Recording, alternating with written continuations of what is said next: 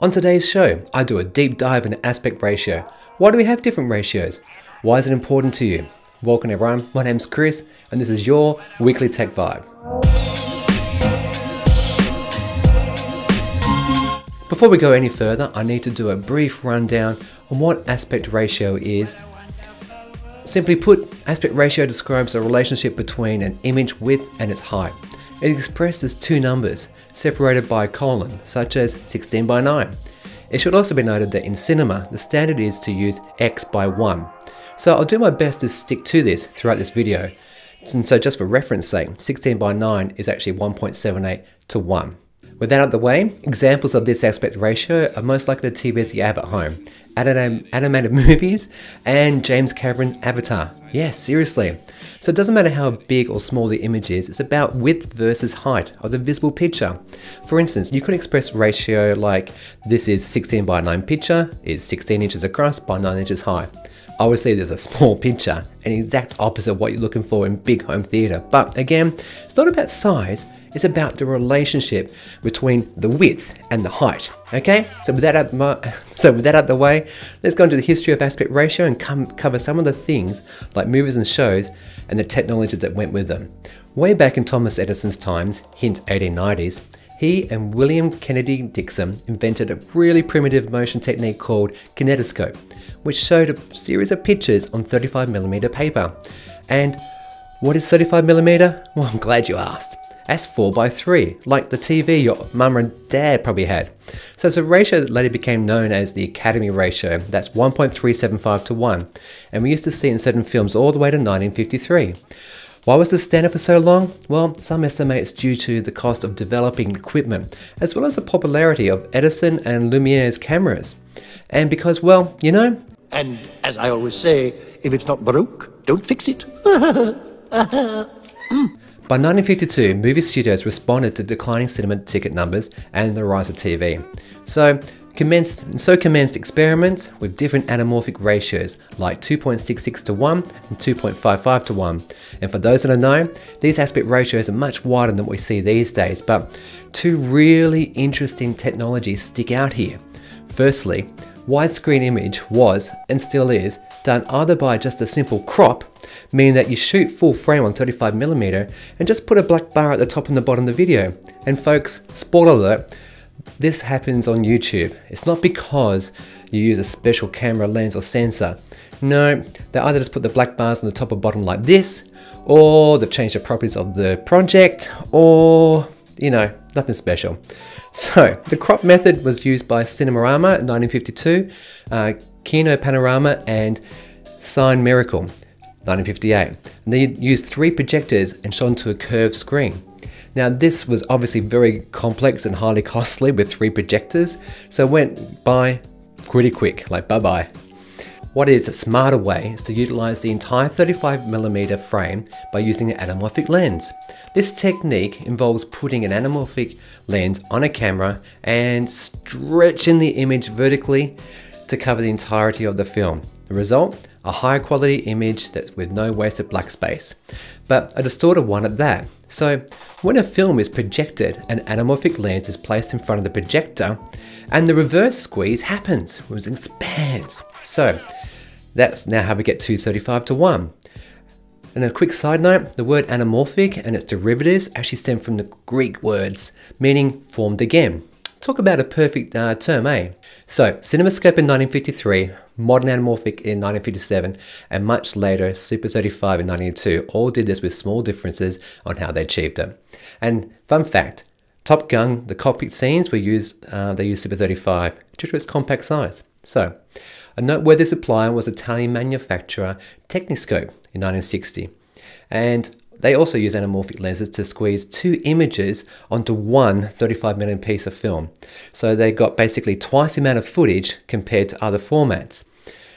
When Techniscope uh, showed prints in theaters, they were uncompressed by the anamorphizing image and so now you expand it out and you get that massive picture.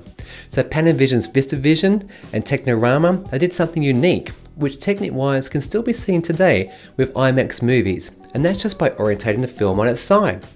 As you can see here, With the film loaded side on, you're not losing any picture to the black bars at the top or bottom. Nope. So by 1957, the Society of Motion Picture and Television Engineers standardized anamorphic widescreen to 235 to 1, down from 266. Why? Well, turns out that being able to have synchronized sound on film was super important. So they obviously used a wider image, but they reduced it slightly to make way for the audio tracks. An update in 1970, still recognized today as the standard, is 239 to 1, and that's to make the splices less noticeable. But wait, what? These days, they're actually shooting on digital medium, so why do we need to do any splices? Well, it turns out people like Quentin Tarantino, Christopher Nolan, and Steven Spielberg, they still like shooting, generally, on actual film. And by the way, if you're in Melbourne, do yourself a favour if you haven't already and get down to the Sun Theatre in Yarraville. They frequently show ultra wide movies in the old fashioned film, like 70mm, with anamorphic lenses and to give you a healthy dose of wow and nostalgia. nostalgia. I'll put a link like down beneath and uh, check out the screenings and oh by the way, hashtag this is not an ad. No. So before I go any further, I need to mention some really important developments, which in today's terms is like um, high definition versus 4K and dare I say it, 8K. And this is the development in the 1950s of 70mm film, or more precisely, 65mm film.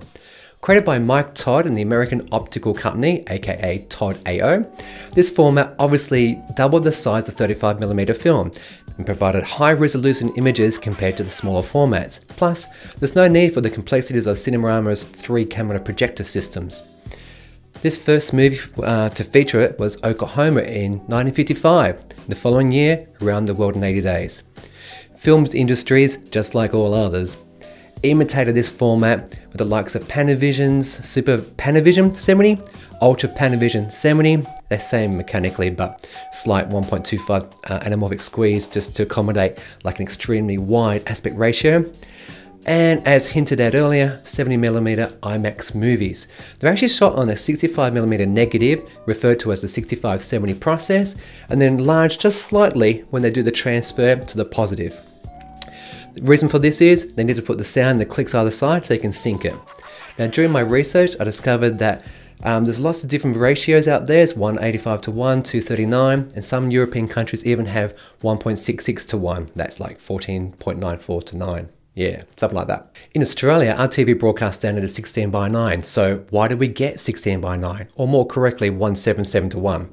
Because they all fall somewhere in between the middle of different aspect ratios so you get a wider picture with minimal loss uh, with the black bars.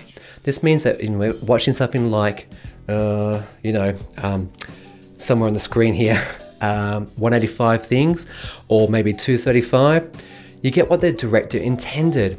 But those pesky black bars of varying sizes can be annoying and I get your frustration. So now, I'm one for preserving what the creator had in mind and when she or he or she um, thought about bringing something to the screen. So take a look at this clip from Forrest Gump. First up is the original 235 ratio. Notice the black bars? All right, now let's crop it to the old 4x3. No bars, but you're missing out on a lot of the picture. Now, 16 by 9. This is to show you what you're missing if you crop it again. And finally, back to what the director intended. So I hope you can see that by cropping for display at home, you're doing the movie a, a terrible and a terrible injustice. And not just you're not getting the full impact of what the cinematographer, director, and editor wanted you to see. After all, would you cut 20% off a page of a book just to make sure that it filled the page? No, no, just no. So we've covered the history of different aspect ratios, but why wide or ultra wide? Well, there is no best answer for this, so as stated earlier, history has shown us that in response to declining cinema attendees due to like TV, but I think more scientifically, I'll go with the general consensus on this, and that is we all actually see like in wide format. Your visual cortex is only capable of um, capturing so much. So, described as your field of view, um, you could be saying to me, hey Chris, I definitely see more than that. But you know what? Your brain can only process so much information. And so as such, you're realistically only seeing this little narrow part in front of you. And as such, you guessed it, Widescreen has been widely adopted and continues to do so more and more these days. Wow, it took this long to get to this point? Come on. Yeah, it did, but there is a really interesting history around this, and the technology that made it all possible is fascinating. I learned a lot researching this story, and I've got a lot more to share with you. So, next episode will be on what this means to home theatre and what equipment to buy. If you enjoyed this so far, hey, do me a favor, consider subscribing to the channel. I do things on technology, home theatre tech, and more. And I put videos out every Wednesday and Friday with a podcast available everywhere where you can get them, like iTunes, Anchor FM. Hey. So put your comments down below if you think I missed anything, and I reckon I did because there's a really rich and fascinating history around this stuff. And if not, friends, until next time, stay techie.